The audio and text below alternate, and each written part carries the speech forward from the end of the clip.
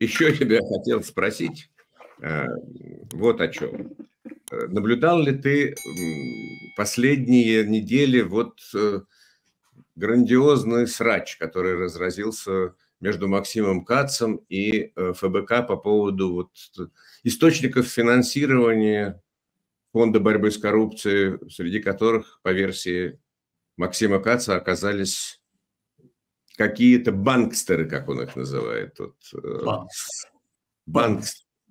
Банкстер. Э, ну, конечно. Ну, как я дела как Конечно, я все это видел. Ну, хорошо, расскажи твои впечатления. Мои впечатления. Не, ну там просто очень много э, вот сугубо финансовые банки. Давайте вот про эту финансовую сторону, так сказать, в двух словах все объяснить. Чтобы да, ты будь... понял, я, я э, не, не, не, не, не э, э, такой крутой специалист, как Мария Певчих в банковском деле, да? Вот, или там Албуров, который, так сказать, как я понял, даже высшей школы экономики не закончил. Но упрекает э, Алексашенко в том, что тот нифига не разбирается в экономике. Это я пропустил. Как? Он же, так сказать, там, выпучив глаза, так сказать, орал, что как же вы, так сказать, авторитетнейший экономист могли пропустить, что на самом деле деньги возвращались. Вот же, вот же, так сказать, говорил Албуров, который, так сказать, как я понимаю, так и не закончил высшей школы экономики. Ушел в политику. Теперь он нас... Нас... Э, наш кормчий. Вот, ну неважно. Вот смотри, вот давай проще. А, Вот у тебя есть банк. Вернее, как, у меня есть банк. Давай проще, буду я вором. Нет, точно нет банка. У меня есть банк. Угу. А, вернее, как, я учредил банк. Вот. И внес в него уставный капитал в размере 10 рублей. Так. Соответственно, с нормативами ЦБ я теперь могу привлечь денег на 100 рублей. Потому что соотношение собственного капитала и привлеченных средств должно быть примерно 1 к 10. Вот. Соответственно, я а, открываю счета клиентам, и ко мне приходит клиент Женя Киселев и кладет мне 100 рублей на счет. Рискованная операция. Не, не, не. Ну, это, слушай, пока все нормально. 100 рублей ты мне кладешь на счет. У нас совокупный капитал, которым я оперирую, в размере 110 рублей. Правильно? 10 моих, 100 твоих. Правильно? Так, так. Замечательно. Теперь, значит, эти деньги, которые ты положил в банк, становятся деньгами банка. Потому что я им могу оперировать, у тебя не спросись. Таким образом, у меня есть здесь 110 рублей и обязательств перед тобой на 100 рублей. Правильно?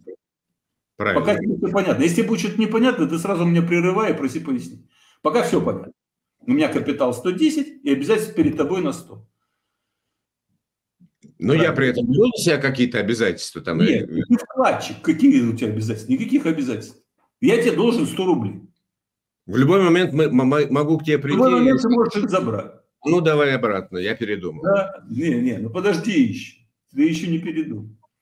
После этого я эти 110 рублей даю в долг какой-то компании, которая передает их в другой компании, третья компания, четвертая, потом одна из них посередине банкротится, той компании, которая там 25 раз передавали, там она уже теряется связь, и так далее, и так далее, и так далее. После этого конечная компания – которая на всякий случай принадлежит тоже мне, угу. приходит ко мне в банк, открывает счет и кладет 100 рублей обратно. Угу. Понимаешь, да? Нет, вот, вот тут не понимаю. Ну как, я, вот эта компания, которая тоже мне принадлежит, а я владелец банка, да. открывает в моем банке счет и кладет да. 100 рублей. Угу. Те 100 рублей, которые, так сказать, э, через цепочку компании у нее оказались. Угу. Кладет их 100 рублей. Вопрос. Внимание. Сколько в банке денег? Физически. 110. А обязательств? Ну как? Получается. Тебе и той компании банк должен. Угу. Два раза больше. Да. То есть денег всего 100, потому что это все те же самые 100, а обязательств перед вкладчиками в два раза больше. Вот эта разница и есть дыра, которую нечем закрыть. Понятно. Теперь идем дальше. Внимание. Я прекрасно знаю, что в банке есть дыра. И я знаю, что не сегодня-завтра ЦБ отзовет лицензию, потому что у банка недостаточно активов, чтобы расплатиться с клиентами. Поэтому я говорю этой своей компании, где сижу я же, она же моя же, говорю, потребую банка себе деньги обратно. Угу. Он вынимает, банк ему, естественно, это же клиент, он отдает деньги, он убегает в Соединенные Штаты, в Лихтенштейн, куда угодно. Сколько в банке денег остается? Ноль. А обязательств? Я прихожу, говорю, а где мои 110? А нету? А нету. А нет. Банк обанкротился, извините. Все понятно? Абсолютно. Да. Теперь мы слушаем Малбурова, который говорит, ну как же вы говорите, что Леонтьев украл деньги, если вот же его компания обратно деньги в банк положила? И мы должны, так сказать, это схавать. Типа, окей, да, действительно, Алексашенко, ты вообще там чем думал-то, когда говорил? Кац вообще наврал, он же не рассказал всей правды, деньги-то вернулись в банк. Понимаешь, ну, да? Я понял. Вот. То есть это, это все э, э, хихоньки да хахоньки. Но когда я слушал их ответ на расследование Каца, когда они там втроем сидели, Алборов, Жданов и Певчик, Угу. А, у меня, откровенно говоря, вот я во всей этой цифире, там, кто куда что, там, вот они все трясут какими-то ведомостями, там, КАЦ трясет, эти трясут. Я вообще во все это не хочу лезть. Мне это не интересно. Меня, у меня чисто методологические претензии. Вот, например, так сказать, э, Певчих и Албуров и Жданов, они, так сказать, в праведном гневе все время возмущаются. А как же так это называется, когда вы рассказываете не всю правду, а всего лишь часть правды? А всей правды вы не рассказываете. Извините, хочется спросить. А вы разве не этим занимаетесь? В частности, например, в фильме «Предатель». Это же ровно ваш метод. Когда вы рассказываете часть правды, но не рассказываете всей правды. Мы к залоговым аукционам еще вернемся. Но вот она рассказывала, там, опять же, так сказать, э, в праведном гневе, про то, какую аферу провернул Березовский с помощью там чуть ли не Гайдара, да? По поводу, так сказать, вот этой вот Авла. Помнишь, была такая Авла? Да, да, помню. И вот, она, и так вот если ее послушать, то получается просто вот забрали у граждан деньги, да? И все, и потом, так сказать, ничего не сделали, деньги украли, и все, граждане, так сказать, ушли э, несолоно хлебавши. Все свои денежки у них, так сказать, улетучились. Так же вытекало из ее фильма. А теперь мы, так сказать, с тобой заходим в интернет. Угу. В 2024 году, внимание. Ну, ты, может, ты зайди. Вот лучше даже ты зайди, а не И напиши котировки акций АВВА. Котировки акций АВВА. Сейчас вот да. за... АВВА буквами набирается. Сейчас, секунду.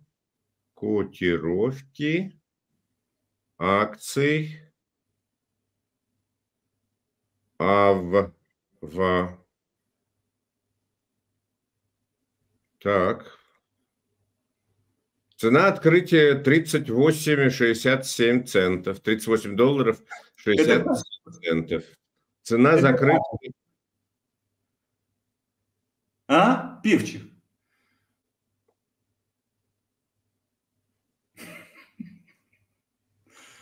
А? Жень. Стоимость одной акции А в... Когда? Когда? Когда? Дата? Ну, сегодня, я так понимаю. Сегодня, да, да, да, совершенно верно, сегодня понедельник. Да. Это как это? А что ж ты так не рассказал это нам? Певчих, Мария Константиновна, АУ. Ну, ты же правду-то надо же до конца рассказывать. Что акции до сих пор котируются, и люди могут вернуть свои деньги. Тут вот даже раздел есть, э, как получить дивиденды по АВ. О! Нужно обменять Конечно, на... Это тоже была новость, Жень. Угу. А как так может быть, а? Я как не же знаю. так не стыдно вот не всю правду-то рассказывать, а только часть.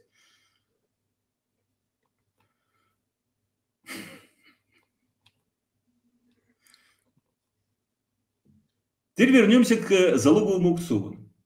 Угу. Вот помнишь, мы с тобой, а, а, я не знаю, в эфире или, так сказать, в частной беседе вспоминали такую девушку «Затули ветер». Помнишь?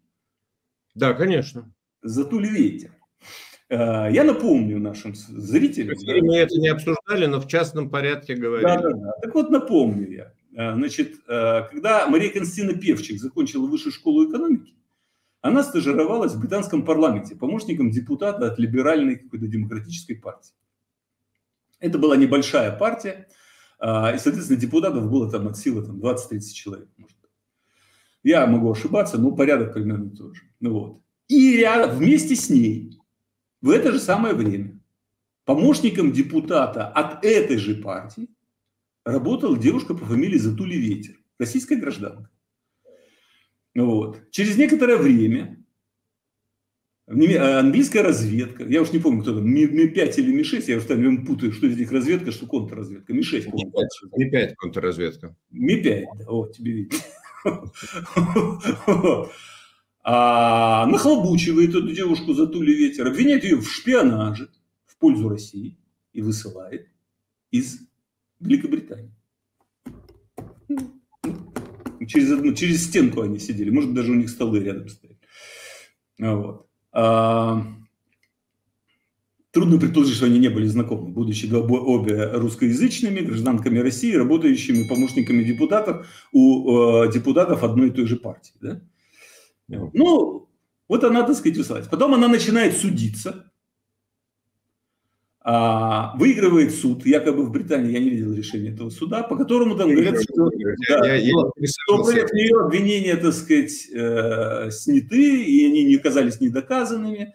Вот. Но, правда, в Британию она больше уже не въездна. Все равно. Больше ей виз не дают, как я понимаю. Ну, вот. Во всяком случае, или она сама не хочет ездить. Но в любом случае, в Британии ее уже больше никто не видит.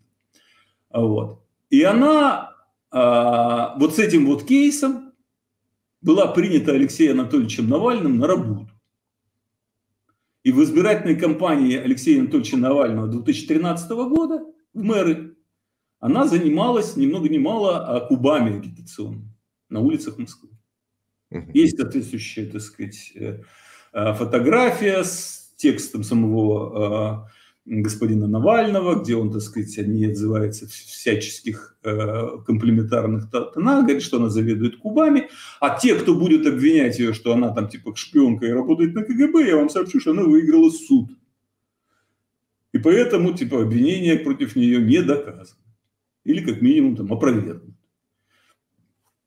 Окей, я не возражаю. Я, я, вот, вот здесь, во всем этом рассказе моем, меня интересует только одно – значит, решение британского суда является точкой в дискуссии. Правильно? Ну, я же говорю, у меня претензии-то методологические, я просто хочу понять метод. Вот, Мария Константиновна, для вас решение британского суда – это точка в дискуссии. Раз человек, так сказать, получил на руки решение британского суда, то он никакой не русский шпион, его можно взять на работу к Навальному. Правильно? Ну, смешно было бы, так сказать, брать на работу человека, который русский шпион, взять на работу Навального. Правильно? Он же вроде как противостоит этому государству, а не, не, не поддерживает этого шпиона, который шпионит в Британии. Вот. А, итак, решение суда – это аргумент, который закрывает дискуссию. Вот дальше Мария Константиновна в своем фильме «Предатели» постоянно рассуждает о залоговых аукционах. Вот такие несики, мнимая сделка, притворная, украли. Та -та -та -та -та. Ну так рассказывай всю правду, Мария Константиновна. Не часть ее, а всю. По поводу того же самого ЮКОСа, а ЮКОС, она как бы в отдельной истории, там, с фотографиями э, Ходорковского, если ты помнишь, с цитатами из него, с издевательскими комментариями Марии Константиновны и так далее, и так далее. Так вот, по поводу ЮКОСа, есть соответствующее решение Верховного суда Нидерландов. Нидерландов. Которое, так сказать, в, принято, вступило в силу, и на этом основании, приняв эту аргументацию, есть суд, который идет в Соединенных Штатах Америки, и суд, который идет в Великобритании. Тоже на самом деле, приняв это решение, изучив его и согласившись.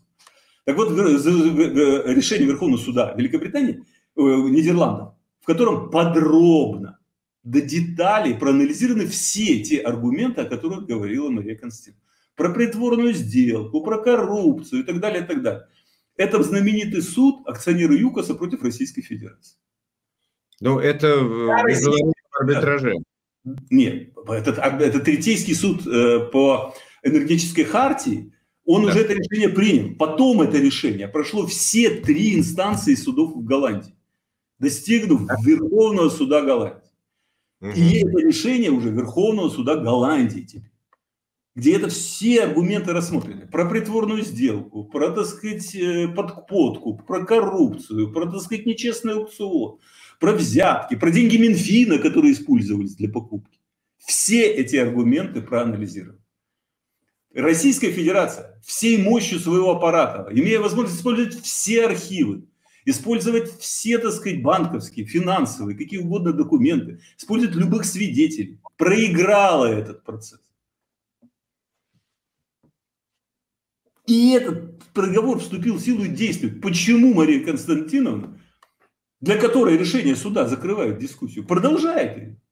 И даже несмотря на то, что решение вступило в силу, и все эти решения, так сказать, э, отвергнуты все эти аргументы, она продолжает называть сделку притворной. Ну, видимо, она читала исключительно аргументы российской стороны, которые были судами отвергнуты. Или вообще не читала их. Или зная о этом решении, решила в своем фильме от них отказаться. И этого не показывать. Ну тогда что, в чем вы тогда обвиняете Каца, извиняюсь? И, кстати говоря, забегая вперед, могу сказать, что те аргументы, которые суд э, учел, э, принимая свое решение, они универсальны для любого залогового аукциона.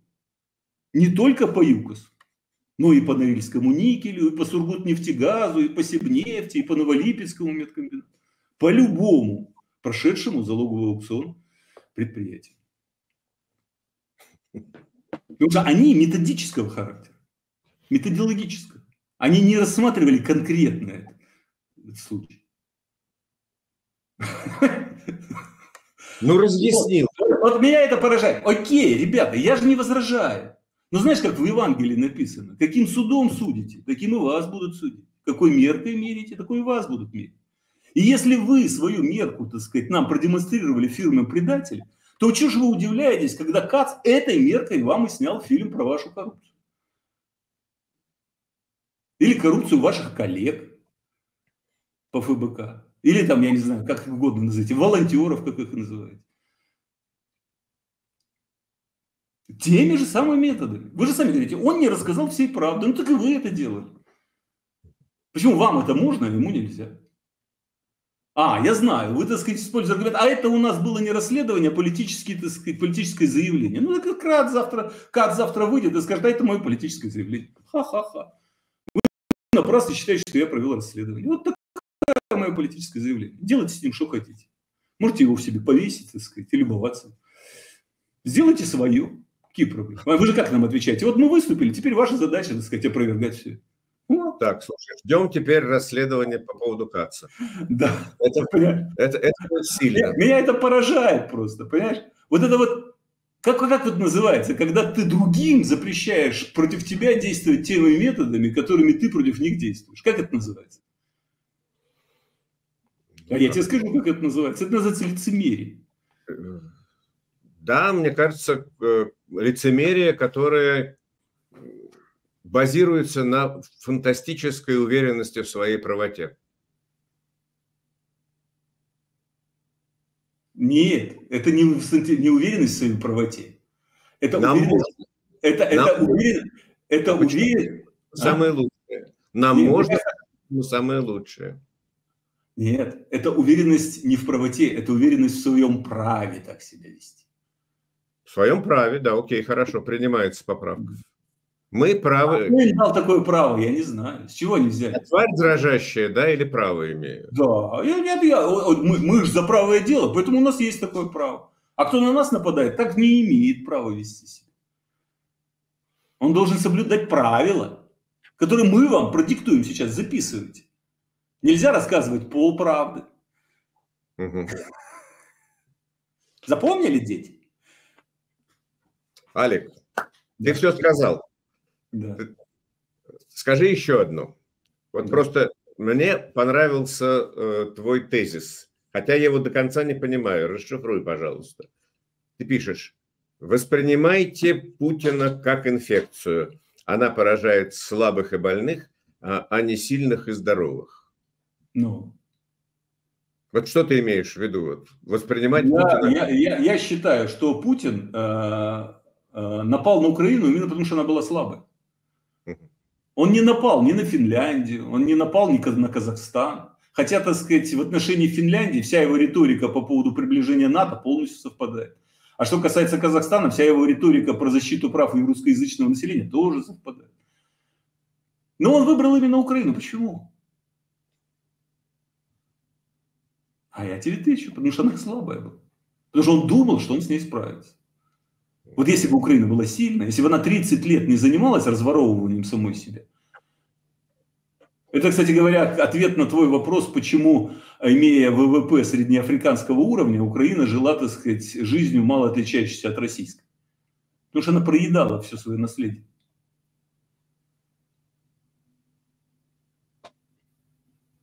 Короче, надо лечить внутренние болезни. Да. И поэтому, когда, когда Зеленский там, или когда украинцы говорят о том, что нам нужен справедлив... нужна справедливость, ну, посмотрите вот на эту ситуацию. Ну, может быть, как раз справедливо, что вы расплатились за 30 лет своего, так сказать, а, грубо говоря. Это не могло кончиться хорошо, Жень. Это не могло кончиться хорошо. Системная коррупция. И, ну... и, и, и, и воспринятие подавляющей массы э, людей государства как дойной коровы. От него не убудет. Оно мне должно. Я ему ничего не должен. Оно мне должно. Поэтому тащили все. Кто-то крантик, кто-то веревочка, кто-то миллиарды. Но туда, внутрь, никто ничего не вкладывал. И 30 лет они жили на том наследстве, которое им осталось в 91 году. И стартуя с э, ВВП на душу населения выше польского, они закончили, так сказать, африканским уровнем. Ой, вот давай не будем погружаться вот в, в историю про ВВП. Что, э, это не мои цифры, это цифры Минэкономики Украины, извини.